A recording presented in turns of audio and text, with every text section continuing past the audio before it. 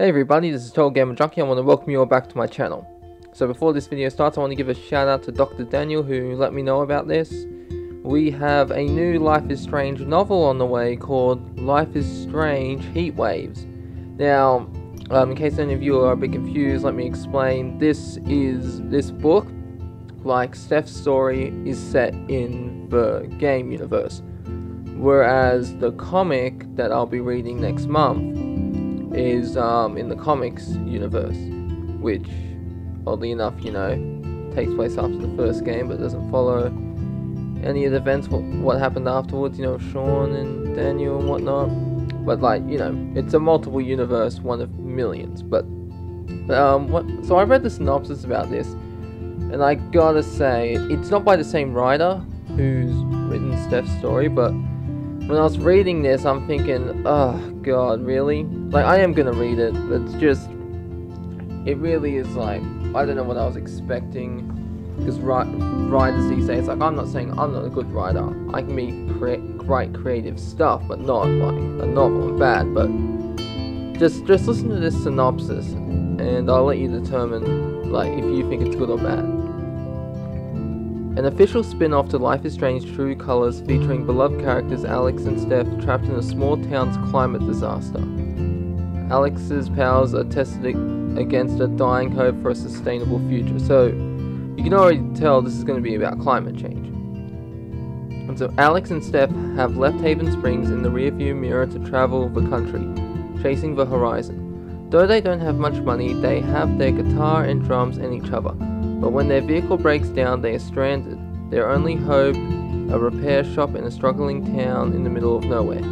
The town is dealing with a severe drought after an extended heat wave wreaked havoc on local crops, plumbing, plunging its inhabitants into poverty and water rationing. What remains of its essential resources are being diverted to indulge the local senator gathering support for their out of touch political campaign. Feeling the anger and despair of the town's inhabitants, Alex and Steph are compelled to do everything they can to help, but when Alex uses her powers to amplify the senator's fear of the climate crisis in the hopes of galvanizing their support, her plan backfires and emotions spiral wildly out of control. Alex and Steph now need to find a way to revive the hope of a failing town and resurrect its history of political action to save the townsfolk and themselves. So already you can tell, because this is like a big thing um, that was happening in comics a while ago. I don't know if it's still happening, I haven't been paying attention, but the last time I heard of, well not just comics, in novels as well, but the last time I heard of um, like climate change was in that, um, what's it called, that Jon Kent comic where he's, where it's Superman's son, his gay son, they, they make sure to emphasize that in the comic.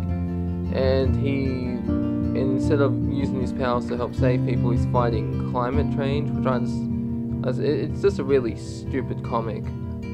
Like, I, I didn't read it, like, I know what it's about, and I've heard people review it, but it's just, it's so dumb. But I am going to be reading this, it's out April 9th, 2024, and if you think about it, it's not really a long wait, because next month is going to be the first issue of Life is Strange Forget Me Not, and if history is to repeat itself, like the original Life is Strange comics, it's going to be four issues, then wait a bit, then another four issues. So each so it'll be December, January, February, March, four issues.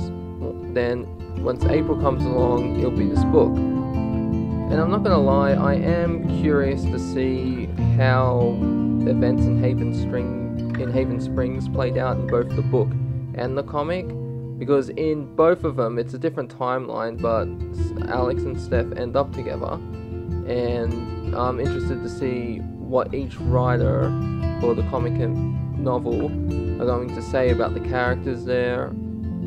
Like Ryan, for example, I'm curious to see how he's mentioned in each version of it. Uh, but anyways, that's really all I wanted to talk about. I have more videos coming up later and I hope you all enjoyed this video as much as you enjoy the videos I'll be uploading. This is Total Gamer Junkie, signing off.